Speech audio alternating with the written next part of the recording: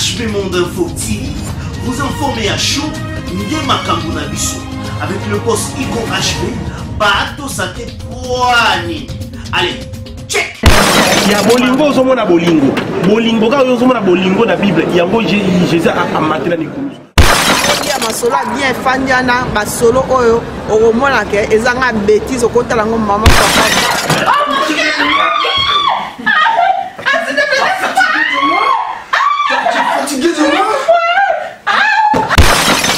asukola kutu yesu makolo ntumba nde toyoka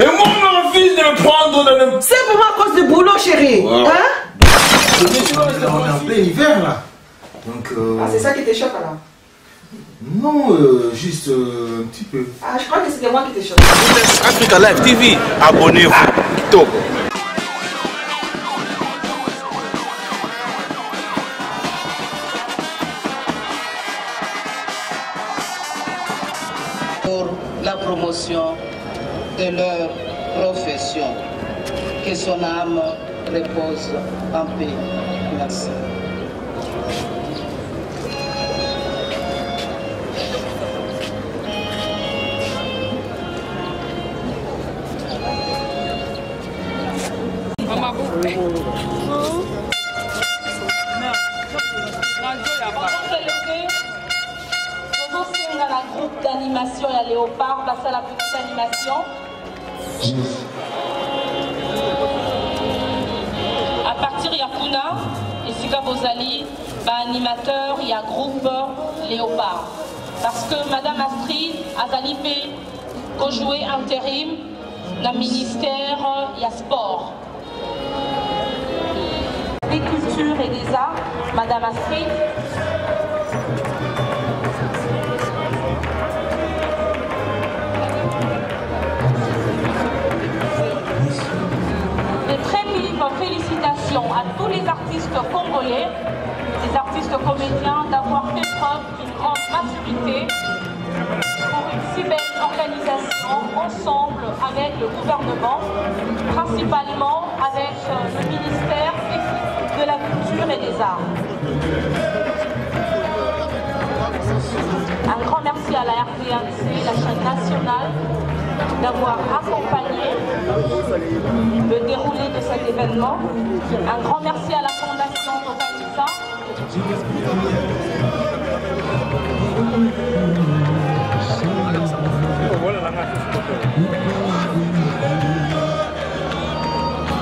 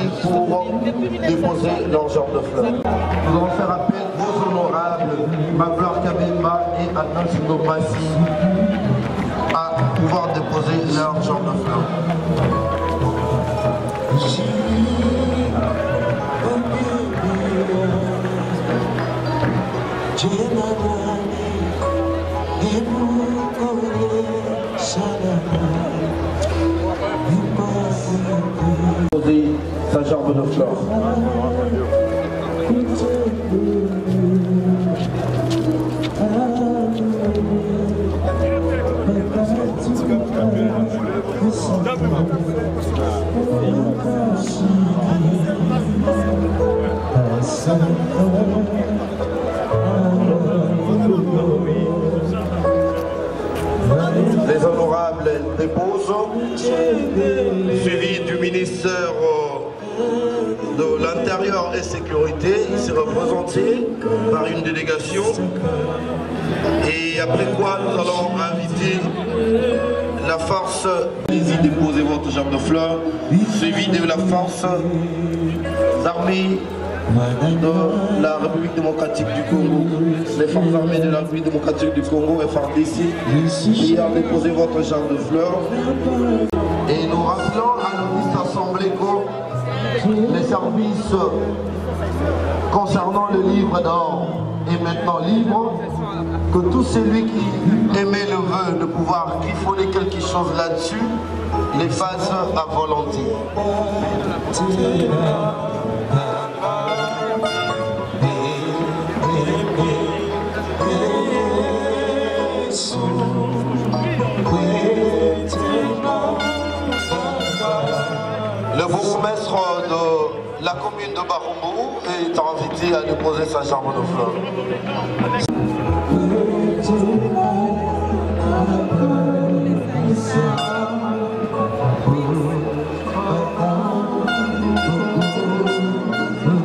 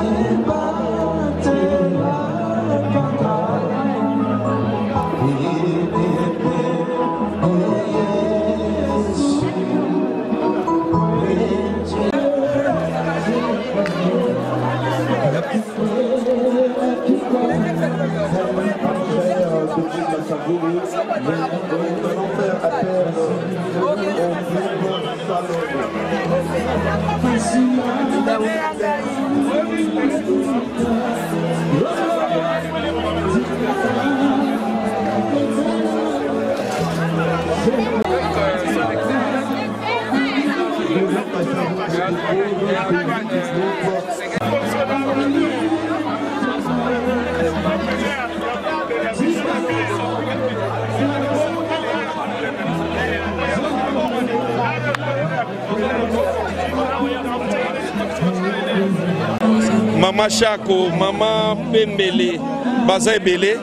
eh, baza baexemple lelo bamama ya lokumu kua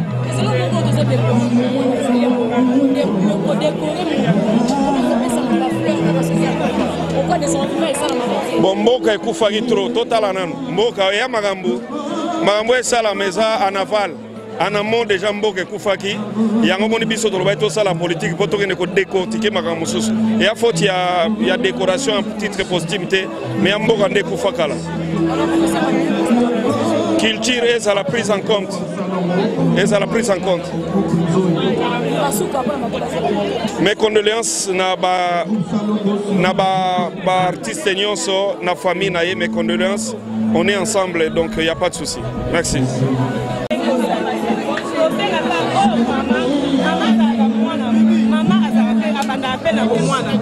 neti tokota bana na biso mwasi aza mama mama ifo kobanda mwana ntango oboti aza mwana moke ifo kobanda kopesa ye conseil éducation fo ayeba kozala na bato aza mama motema monene ayeba kosangisa lelo biso toza na bagroupe so tozalaki mitema minene te mais na groupe na ngai le temps de la grâce nasali 12 ans te mais na carrière oyo nasali ba 25 a ba 22 ans mais nakomi te ozolanda mpo ya nini nawelela eloko ya moninga te na enviaka te yango mama ewaso abandaki kopesa biso conseil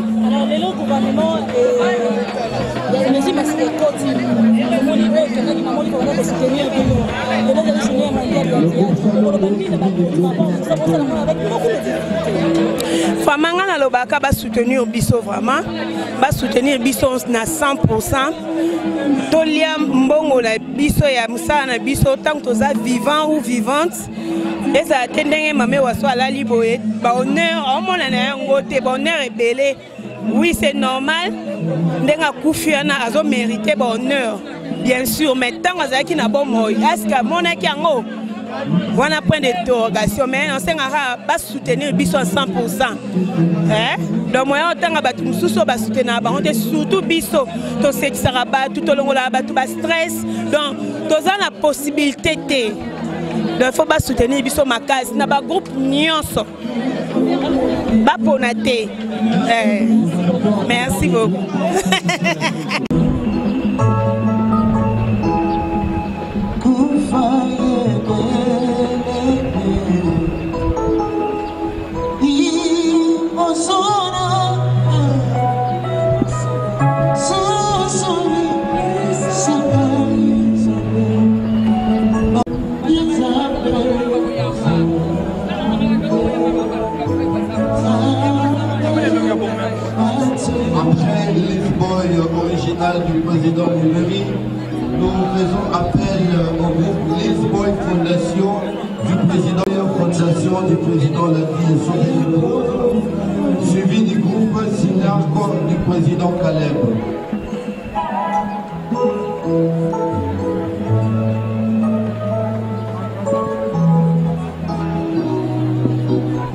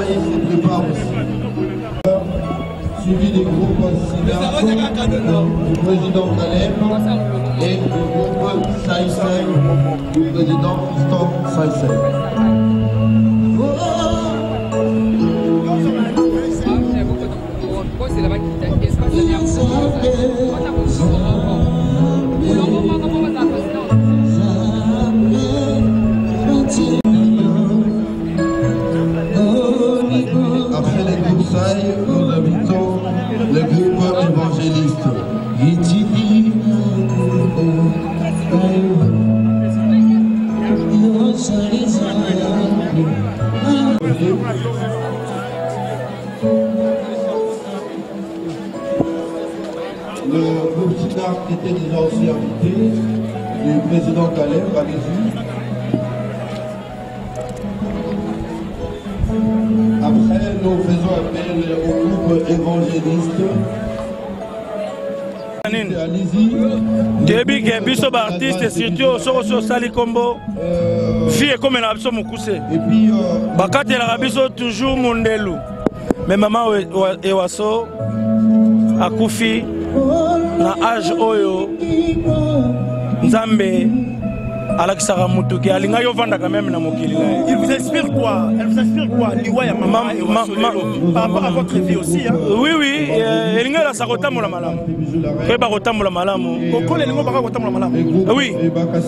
kotambola malamu ça fait partie ya 80 pourcent ya kokola ya motu ya bomoi ya moto kotambola malamu ezali kobanga nzambe osobe bakufi na maternité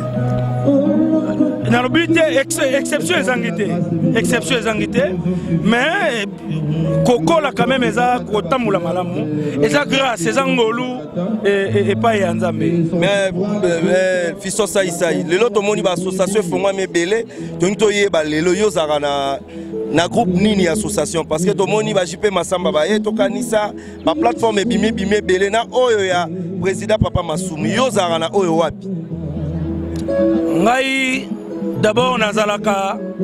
na association de bon cœur veut dire mm. association na ngai eza oyo nazalaka eza association ya motema nyonso ya malamu mm. omoni tokosala groupe association mais soki toya mabe toaka mabe na préféré nazala na association moko te me natikala motu malamu antpc soki eza na likambo nasungi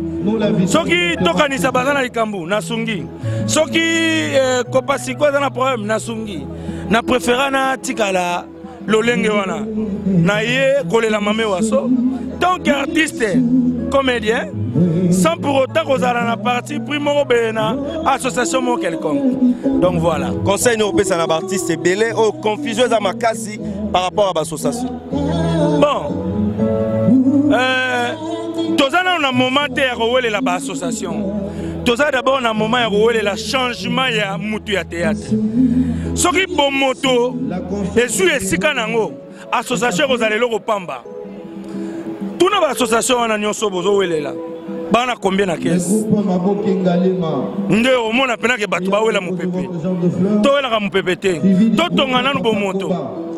bomoto nde ekosala ke biso bitikali bizwa nzela akala election ya théâtre fiston saisai ti lelo botika ngo kaka boye initiative ezalaki bia elala mpo na nini elala mpo toza bato ya maboke mpo toza bato ya théâtre tolata poso ya théâtre na nyonso hmm. ozo imagine ke lelo tozali na alternance na mboka mais biso bacomédien toza na transition oh. ça veut dire association ya théâtre eza na transition hmm. mais mboka eza na alternance mboko eza na diamant mboko eza na cuivre mboko eza na, na, na colbat baa na alternance hmm. kozanga kotikela bayike ba nde eloko ezosala ke maponomi ezala te ngai mpe nalobaka eloko moko nzambe apesaka moyen na possibilité hmm. omona moto mosusu aza na moyen mais possibilité eza te ntango eza te mpo asala likambo yango moto mosusu aza na moyen te me ya na possibilité moyen eza te mpo akokisa baposa ya likambo yango mm. me nzambe apesaka moyen na possibilité mm. periode oyo osalisa ye nalingaki na assume mm. responsabilité wana ya kozala président ya association ya baartiste comédien ezalaki mpo nalaki na moyen na possibilité mais sikoyo ntango mosusu nakozanga moyen mais possibilité ekozala mais souci toutes les délégations citées sont priées de déposer leur genre de fleurs nous ne reviendrons plus dessus ezalaki mwana mpo batina mwanaki osukola yo so osukoli te okotala maboke te okotala mama ewaso te soki mwana mwasi aza songisongi yo oza lokola mama ewaso c'est-à-dire asali mosala na ye amarke epoque na ye atiki histoire bongo lokola atiki biso na, na, na mobu tuku mwambe na mibale ezali tokoki kolela te eza nde esengo eza nde eh, tosengeli nde tofete parce que azwi ngonga ya kokabola mayele na ye na bana na bakoko na bakokolo atikeli bango experience ya mosala na ye yango moni lelo eza mokolo monene mpo na biso eza mokolo ya mokolo ya mawa te eza nde mokolo ya esengo mpo na kokabola tomarke to to mwa pose totala misala mama asalaki azalaki modele na société atiki ndakisa nini na biso epuis omoni na moi mwa lelo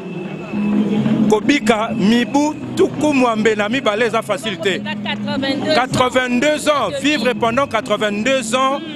par le temps qui court eza, eza facile te elakisi que maman azalaki na badiscipline ebele mpo lelo bana lelo bakoma manzoli nzonzo eleki mingi kolala baretard mobulu epai eh, bashida epai alors toza komituna soki bana ya lelo babiso tokokokisa mibu 82 ans bongo mama lokola atiki biso na, na, na 82 ans c'est que atambolaki malamu azalaki na likambo na moto te azalaki na discipline komela ko, ko mbenda pambapamba te kolala baretard te mpe azalaki na conflit na bato te yango lelo lokola toconsidere yango na journée mondiale ya théâtre eza mpe mokolo oyo esengeli to réfléchir biso toande kozala ntango nyonso na mama na mopanzi na ngai papa na biso aza bandaki kojoue na mama troupe moko mama bandaki kolela mingi eh, mama aniokwami mingi esengeli badiscours kitoko tosali awa esengelaki tosala yango na bomoi tolingana na bomoi bolinga baartiste na biso ntango bazali na bomoi eza te soki moto akufi akufi na, na klinike bolongoli botie na hôpital ya monene alors kasi akufi toyei kotanga badiscours minene minene awa 4 page mama ayoki yango te esengeli nde na bomoi nde ntango biso toza kosala toza kotombola bendela ekolo na biso bosunga biso yango omoni na kati ya collectif na biso tosali collectif des artistes et des culturels oyo ezangisi baartiste nyonso ya congo na baproducteur na ba, ba, ba, ba baculturel nyonso epuis na kati ya association na biso antpc toza kobunda bongo mpo topesa lisungi topesa makoki na leta asala en sorte que secteur na biso ya art ekende liboso parce que art to mpe ntoki ezali bomoi ya ekolo ezali thermomètre ya ekolo soki bato balingi batanga niveau ya bomo ya ekolo wana bakotala baartiste na bango bazali ndenge nini soki baartiste baza bato ya nzalanzala seke ekolo wana eza ekolo ekoki kokende liboso te nde yango liloba na ngai naloba mpe napesi euh, euh, bonne fête ya journée mondiale ya théâtre na bato nyonso basalaka théâtre euh, nasengi mpe lisusu molimo ya mama na biso ewaso catherine oyo anyokwami mingi na maladi ekende kopema na boboto merci mingi euh, bodo maloba mpe mwa moke na ngambo ya euh, président caleb ye mpe alingi bongo kopesa mwa maloba moke mpo na liwa ya mama catherine ewaso ouais, en tout cas mama na biso catherine ewaso biso toza lokola bakoko na ye biso tozalaki ngai yango na koloba te nazalaka nayebi vraiment mama te parce que ngai nazalaki mwana moke ntango mama aza kojoue me bazali ba icone biso lelo so tokosala mosala oyo ezali mpo bamama wana babanda epuis komona ye akokisi mbula oyo eza kopesa nga espoir ke bacomédien bakufaka kaka jeune te toza mpe na oyo ya biso mama akufi na age vraiment très avancé ngai nakopesa kaka bacondoléance na famille na ye biologique na famille artistique na ye biso tozalaka bana mike mpenza ere bamama ewaso baya kosala mosala na bango na, na radio epuis na télévision je me souviens c'était à l'époque na groupe nzoi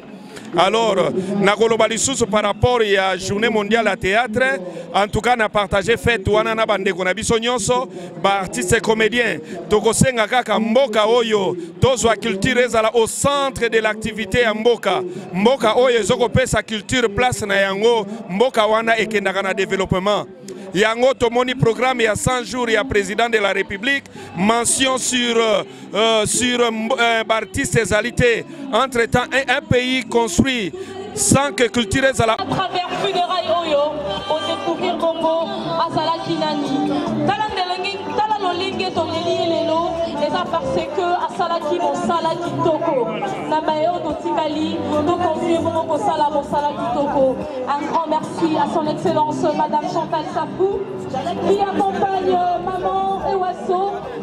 Tina Bongo, euh, il y a Merci aux artistes congolais. Merci à l'artiste Saï Saï. Merci au président Elomé. Merci au président Kikedi. Merci au président Taleb Toukebana. Merci à tous les artistes congolais. Merci à la presse en général, la RCNC, qui nous a accompagnés dès le début jusqu'à la fin de ces événements.